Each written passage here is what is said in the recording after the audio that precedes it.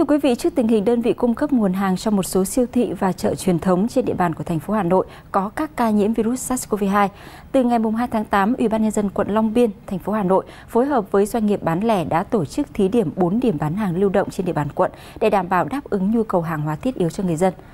Ghi nhận những ngày đầu triển khai cho thấy có hiệu quả tích cực. Các điểm bán hàng lưu động này được tổ chức tại những địa bàn mà người dân khó tiếp cận với chợ siêu thị để mua sắm. Mặt hàng chủ yếu là các nhu yếu phẩm như thực phẩm tươi sống và thực phẩm khô với giá bán bằng giá niêm yết tại siêu thị. Mặc dù được bày bán ngoài trời, nhưng các thực phẩm tươi sống đều được bảo quản tốt. Người dân đến mua hàng tại đây đều phải thực hiện khai báo y tế, kiểm tra thân nhiệt theo đúng quy định, không quá 5 người trong một lần mua sắm.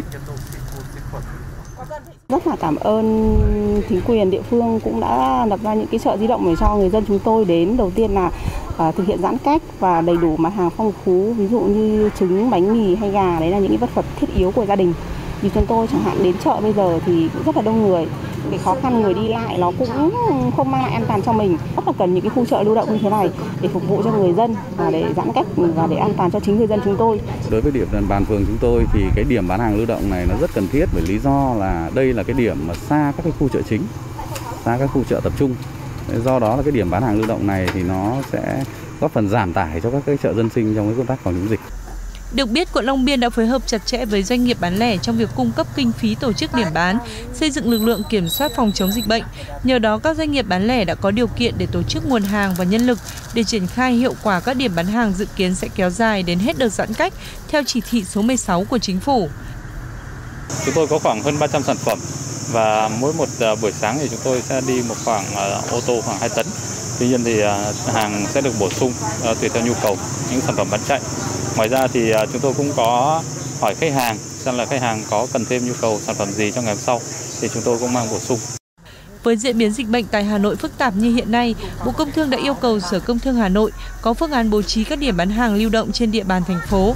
Nếu mô hình này được nhân rộng, có thể vừa đảm bảo nhu cầu mua sắm của người dân, đồng thời giảm thiểu được các nguy cơ nhiễm bệnh khi tập trung quá đông người tại các điểm mua sắm như chợ truyền thống hoặc siêu thị. Thưa quý vị, với mục tiêu là chia sẻ những khó khăn với y tế công lập trong công tác phòng chống dịch, 10 bệnh viện tư nhân và rất nhiều bác sĩ trên địa bàn của thành phố Hà Nội đã tham gia truy vết, xét nghiệm và tiêm chủng vaccine ngừa COVID-19 cho người dân của thủ đô. Và trong hai ngày vừa qua thì các bệnh viện này đã hỗ trợ xét nghiệm lấy mẫu các trường hợp liên quan đến chùm ca bệnh mới phát sinh. Gần 800 người dân tại khu vực Mai Dịch, quận Cầu Giấy có liên quan đến chùm ca bệnh tại chợ Đồng Sa đã được mời đi lấy mẫu xét nghiệm. Với mục tiêu truy vết thần tốc và khoanh vùng nhanh, Hà Nội đã kêu gọi hệ thống y tế tư nhân tham gia vào công tác này.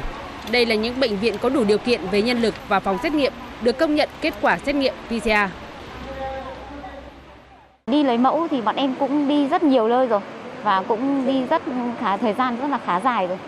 Bọn em cũng đã được bệnh viện ờ, ưu tiên là tiêm vaccine trước rồi. Mẹ bản thân đi thì cũng trong lòng, trong đầu thì cũng nghĩ là hơi lo lắng một chút nhưng mà vì đất nước và vì cộng đồng là bọn em sẵn sàng.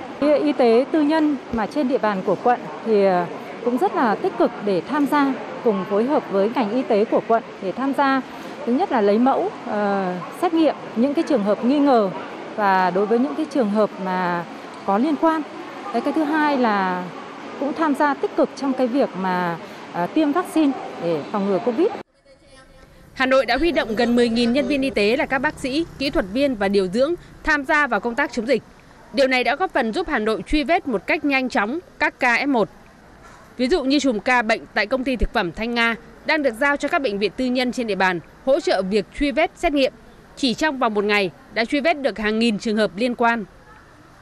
Trong cái thời điểm rất là khó khăn này thì chúng tôi cũng thấy rằng là sự tay chung tay chung sức đồng lòng của khối y tế tư nhân là rất là quan trọng đã uh, chia sẻ những cái gánh nặng cho hệ thống y tế công lập để làm sao mà chúng ta đạt hiệu quả trong công tác phòng chống dịch bệnh. Để đẩy nhanh tiến độ tiêm chủng vaccine COVID-19 trên địa bàn Hà Nội, 10 bệnh viện tư nhân cũng đã được tập huấn kỹ thuật tiêm, sơ cấp cứu tại chỗ và đã triển khai tiêm tại một số quận huyện như Cầu Giấy, Tây Hồ, Long Biên và Hoàng Mai. Công an quận Hoàn Kiếm vừa mới bắt giữ nhóm đối tượng đóng giả lực lượng kiểm soát phòng chống dịch để thực hiện hành vi cưỡng đoạt tài sản. Quá trình bắt quả tàng các đối tượng, lực lượng chức năng đã thu giữ những tăng vật gồm 3 rùi cui gỗ, một gậy chỉ huy giao thông, hai rùi cui điện, 3 bộ đàm, một súng bắn đạn nhựa và một số tiền là 341.000 đồng. Trước đó 6 đối tượng mặc quần áo dân quân tự vệ ra đường tìm người đi đường vi phạm các quy tắc phòng chống dịch. Khi phát hiện người vi phạm thì yêu cầu dừng xe, tiến hành kiểm tra và đe dọa với mục đích làm cho người vi phạm sợ phải đưa ra một số tiền để được bỏ qua lỗi. Theo chỉ đạo của Ủy ban nhân dân thành phố Hà Nội, những ngày vừa qua, các địa phương đã đẩy nhanh tiến độ tiêm chủng vaccine ngừa Covid-19 mở rộng trong toàn dân. Một quận ở Hà Nội đã thành lập 10 điểm tiêm chủng giã chiến và đây cũng là lần đầu tiên mô hình này được đưa vào hoạt động ở thủ đô. Khẩn trương, nghiêm túc là không khí tại nhà thi đấu Trịnh Hoài Đức, một trong những điểm tiêm chủng giã chiến thuộc quận Đống Đa, Hà Nội. Người dân đến tiêm được yêu cầu đeo khẩu trang, ngồi giãn cách. Lần lượt từng người sẽ được gọi tới bàn ghi nhận thông tin tiêm chủng. Các bước sàng lọc về thông tin dịch tễ, kiểm tra thân nhiệt, huyết áp là một phần quy trình bắt buộc. Cảm nhận đây là một cái nỗ lực ừ, của thành phố cũng của nhà nước đã cố gắng để dẹp dịch và ừ, cũng như là đảm bảo cái an toàn tính mạng của nhân dân. À, khoảng tầm sau 45 phút là mình hoàn thành mũi tiêm chủng. Mình thấy tại vì là cũng thấy là cũng khá nhanh tại vì là có rất là đông người tiêm. Để tiêm chủng theo mô hình bệnh viện giã chiến, các vách ngăn đã được sử dụng để tạo thành các phòng tiêm riêng biệt, đảm bảo giãn cách cũng như hạn chế việc tiếp xúc đông người. Tất cả các khu vực như chờ tiêm, sàng lọc cũng như khu vực tiêm đều được tách biệt. Nhân viên y tế sẽ hướng dẫn người dân di chuyển một chiều theo lối đi riêng, đảm bảo đúng quy trình tiêm chủng. Thì em cũng thấy là quy trình ở quận thì cũng khá là rõ ràng, tức là từ việc thực hiện giãn cách cho đến uh, sắp xếp các thứ rồi từ cái việc mà đo nhiệt độ thế thế là quy trình rất là rất là tốt. Để đảm bảo tiến độ, các phường trên địa bàn quận Đống Đa đã lên kế hoạch phân bổ thời gian cho người dân. Mỗi người sẽ đến theo giờ được sắp xếp để đảm bảo không ùn ứ, giãn cách theo quy định phòng chống dịch. Sau khi có uh, cái danh sách được là ghi từng các cái thẻ, từng các cái cung giờ trên thẻ đó thể hiện các cái cung giờ và các bác tổ trưởng đã phát đến đối với cả từng người dân một thì trên cơ sở đó người dân sẽ biết được cái cung giờ có thể là đến để à, xếp hàng tiêm đảm bảo khoảng cách theo như yêu cầu. Tổng cộng có hơn 10 điểm tiêm chủng giã chiến được thiết lập trên địa bàn quận Đống Đa. Quận sẽ tổ chức tiêm chủng vaccine phòng ngừa COVID-19 cho người dân đến hết ngày mai. Dự kiến số lượng tiêm khoảng 25.680 mũi. Loại vaccine được sử dụng để tiêm cho người dân trên địa bàn là AstraZeneca. Cũng liên quan tới vấn đề tiêm vaccine, ngày hôm nay Trung tâm Kiểm soát Bệnh tật tỉnh Đồng Nai đã tổ chức tiêm vaccine phòng COVID-19 cho 700 công nhân công ty May Đồng Nai. Và đây là những công nhân đầu tiên của Đồng Nai được tiêm vaccine COVID-19. Trong những ngày tới thì Đồng Nai sẽ tiếp tục tiêm vaccine phòng COVID-19 cho hàng loạt công nhân tại 9 doanh nghiệp trên địa bàn. Để đảm bảo an toàn tiêm chủng, Trung tâm Kiểm soát Bệnh tật tỉnh Đồng Nai thành lập 6 tổ tiêm, mỗi tổ gồm 6 người. Trên địa bàn tỉnh hiện có 32 khu công nghiệp đã đi vào hoạt động với hơn 1,2 triệu lao động. Hiện nay do dịch Covid-19 nên hầu hết doanh nghiệp đã phải tạm ngừng hoạt động. Tới đây khi có nguồn vaccine, tỉnh Đồng Nai sẽ ưu tiên tiêm cho công nhân để bảo vệ sức khỏe người lao động, giúp doanh nghiệp sớm hoạt động trở lại, duy trì chuỗi sản xuất. Còn tại thành phố Hồ Chí Minh, bên cạnh các nỗ lực ngăn dịch bùng phát thì chính quyền cũng đang có nhiều động thái để hỗ trợ người dân trước ảnh hưởng của dịch bệnh Covid-19. Cụ thể, Sở Lao động Thương binh và Xã hội thành phố đã vừa đề xuất Ủy ban nhân dân gói hỗ trợ trị giá 760 tỷ đồng cho lao động tự do, hộ nghèo, người lao động gặp khó khăn do dịch Covid-19.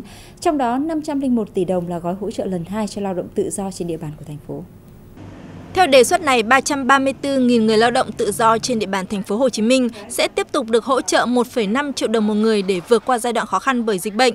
Khoản hỗ trợ này sẽ đến ngay sau khi người lao động được hưởng gói hỗ trợ lần 1 trị giá 501 tỷ đồng trong tháng 7 vừa qua cho 30 ngày thành phố thực hiện giãn cách theo chỉ thị 15. Cùng với đó, Sở Lao động Thương binh Xã hội đề xuất 170 tỷ đồng hỗ trợ 170.000 lao động nghèo sống trong khu nhà trọ, xóm lao động nghèo, khu vực phong tỏa với mức hỗ trợ 1 triệu đồng một hộ. Hơn 90.000 hộ nghèo, hộ cận nghèo trên địa bàn thành phố cũng được đề xuất hỗ trợ 1 triệu đồng một hộ. Việc hỗ trợ này sẽ được triển khai với tất cả người lao động, hộ nghèo đang sinh sống trên địa bàn thành phố, không phân biệt tạm trú hay thường trú.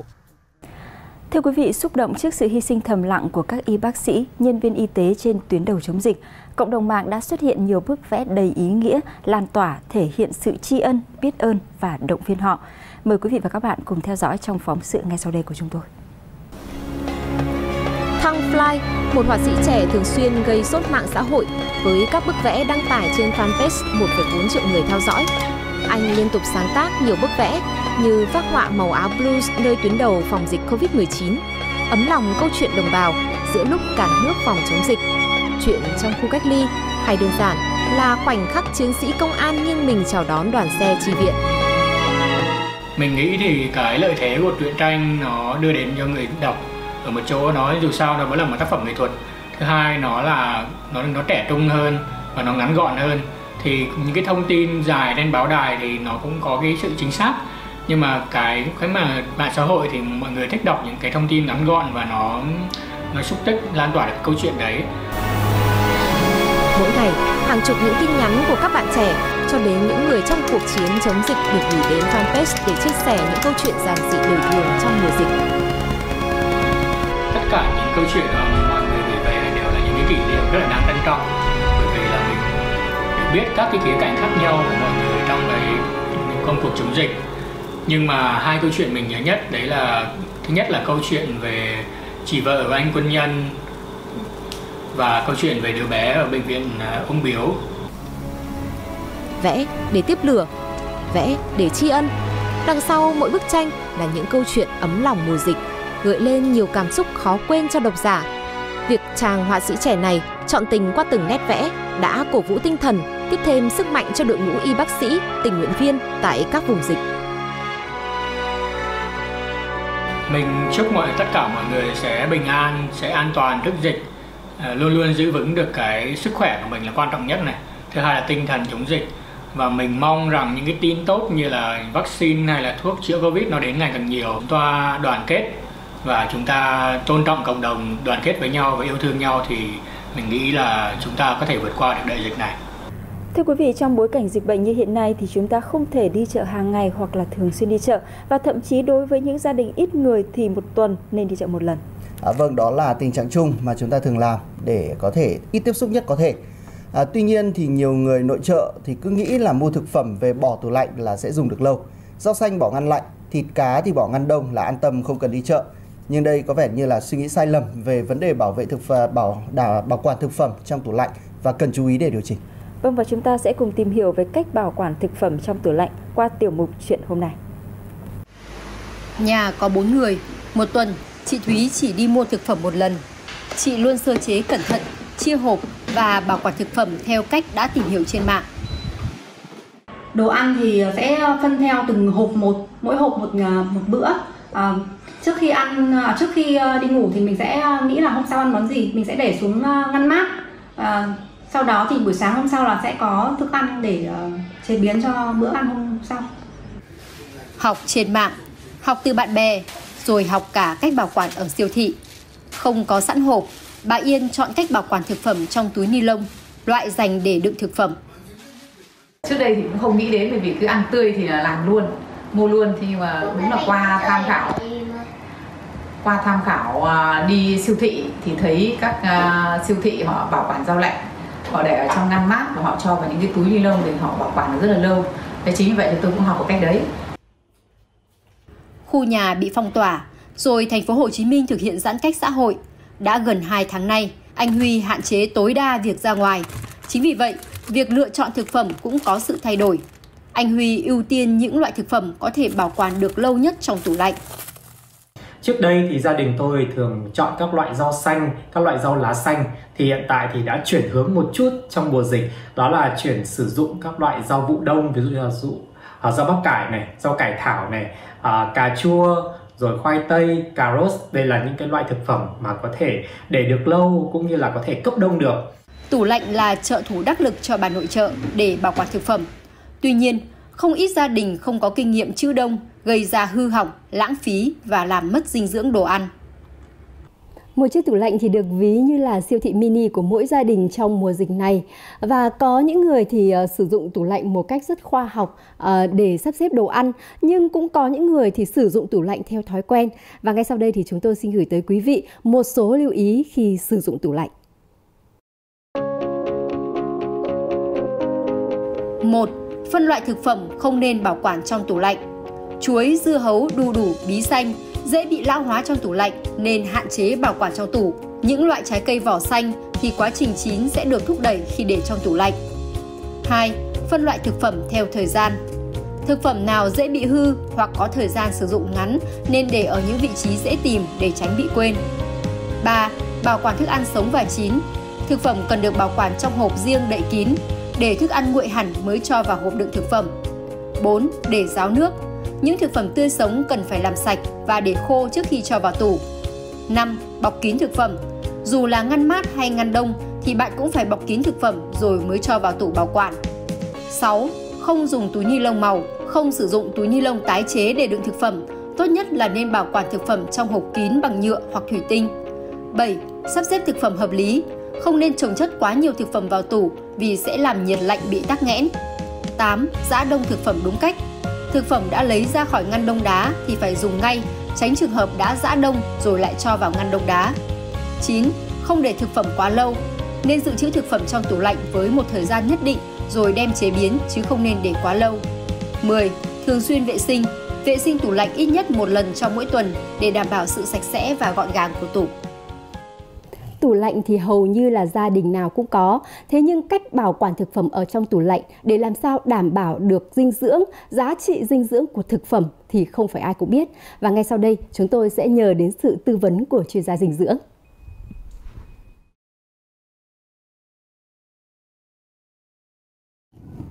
Thưa ông là mỗi loại thực phẩm thì có một giá trị dinh dưỡng khác nhau. Vậy thì làm thế nào để đảm bảo được giá trị dinh dưỡng đó khi mà bảo quản thực phẩm trong tủ lạnh ạ?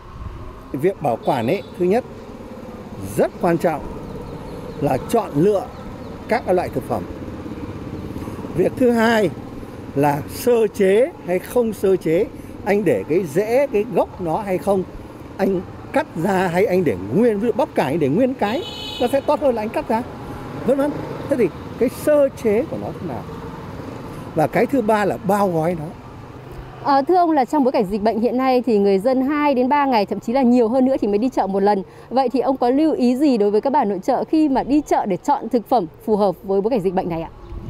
Mùa dịch thì phải quan tâm đến cái chuyện này, vẫn phải giữ bữa ăn đa dạng, đầy đủ chất dinh dưỡng, nhưng đồng thời phải chọn lựa các loại thực phẩm thế nào để bảo quản được lâu ngày thì tôi khuyến cáo là nên chọn ngoài rau lá thì trên nên chọn thêm rau củ quả mà hiện nay rau củ quả ở trên thị trường à, khá nhiều và đầy đủ.